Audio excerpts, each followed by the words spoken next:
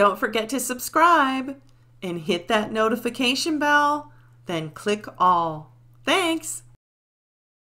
Hi everyone, welcome back. And in this video, I'm going to be creating this beautiful tropical parrot here. This is the first one in my tropical 3D nail art series. So yeah, I hope you enjoy the series. I'm going to have five different things created for you.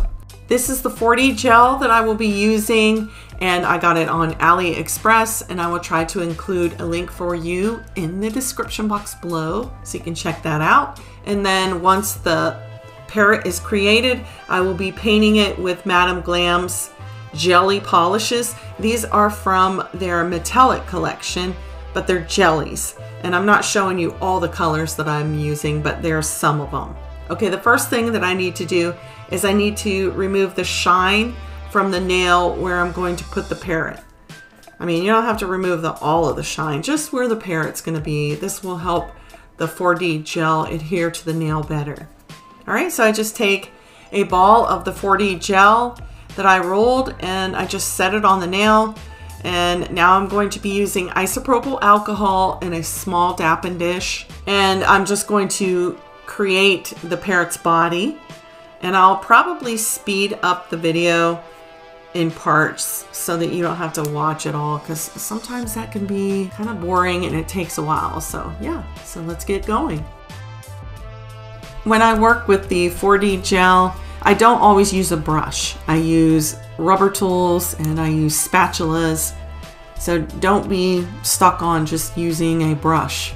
This is a spatula and the end of it is bent and that's what I use to cut open the beak with here.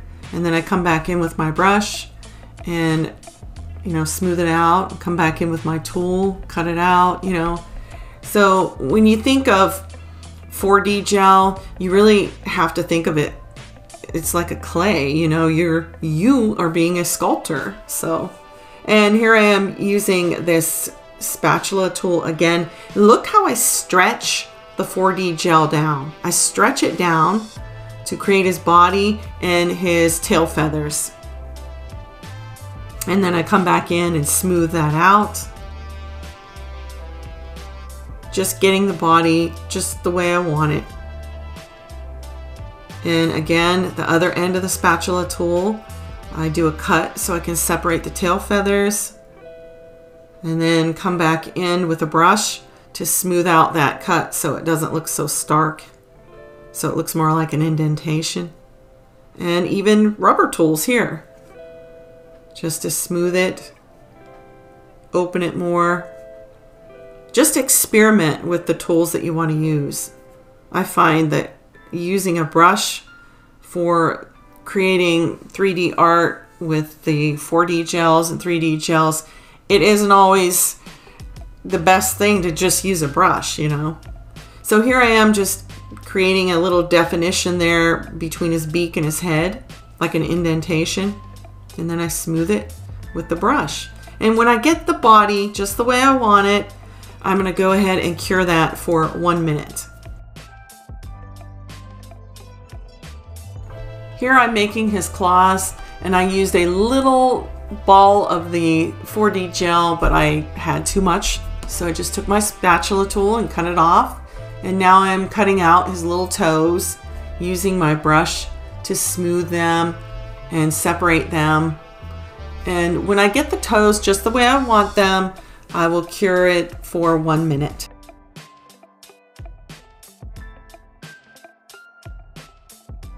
Now I'm going to work on the wing and I have a little piece of the 4D gel and I rolled it to look like a little piece of rice now I just set it down on the body and because I pressed it down, I have a little indentation in the wing that I need to work out. And I'll just use my brush and smooth that out.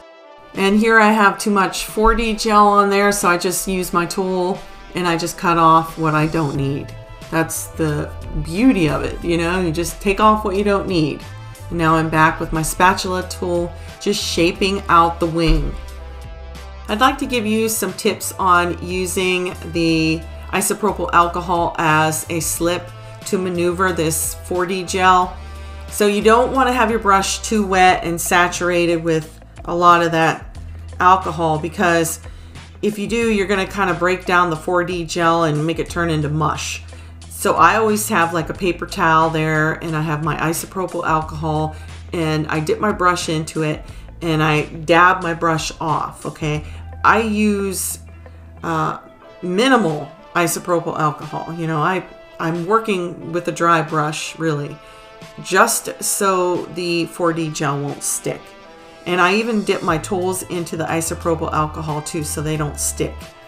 It's kind of like polygel in a way, the same concept there. You don't want your brush to stick to the polygel. So you dip it in either a slip or isopropyl alcohol to stop that stickiness, you know. Now I'm working with my rubber tool and I'm using it to create indentations in the wing here. And then I will switch over to my brush to smooth them out. And then when I get the wing just the way I want it, I will go ahead and cure that for one minute. I'm going to paint the parrot now using the jelly polishes, but I wanted to show you a trick. If you think your jelly polish is a little bit too pigmented, you can lighten it up using just some top coat, okay? Just take a little bit of the top coat like that and just add it to your droplet of your jelly polish until you get it to look a little bit lighter. With this type of 3D nail art, and I have done it in white, there's a purpose for that. I want to be able to still see the white through the jelly polish, okay? So it looks sort of like a pottery, like a glaze. When people make pottery, they use like a transparent glaze that's colored. So that's the look I'm going for here. I'm not going for just covering up this uh, the whole parrot you know and I want the white of the 4D gel to be able to be seen. And you can see it here. It kind of starts to uh, separate and settle and you can see parts of the white showing through. That's the purpose here. Now I'll flash cure this and go on to the beak. And here's the beak.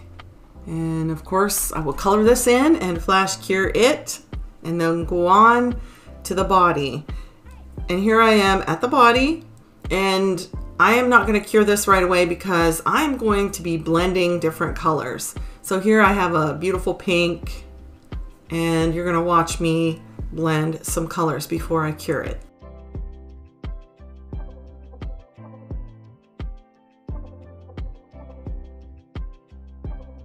And while the pink is still wet, I just set a little red crystal down for his eye. And I'll just leave it there until I'm done blending the rest of my colors.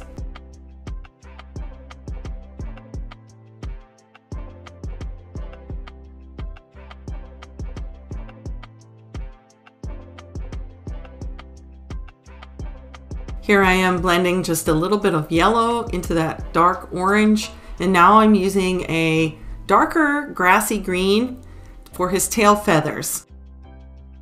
And if you've watched everything, you can see how the colors are kind of settling around his wing. And in the tail feathers, you can see where it's darker, where the crease is. That's what I'm going for. Now I will cure for 30 seconds. And now I'm going to top coat and I'm starting out by top coating just the parrot and I start by his eyes so that I can seal that crystal in. I'm using a no wipe top coat and I will cure that for one minute. And now I'm just going to top coat the rest of the nail and just being careful around that cuticle area here.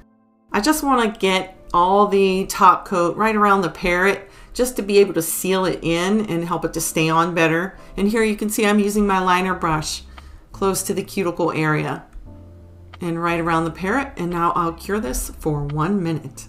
That's the end of the video. Thank you so much for being here. If you liked it, please give it a thumbs up and be on the lookout for the next video coming up in the Tropical 3D Nail Art series, which is going to be a tropical leaf.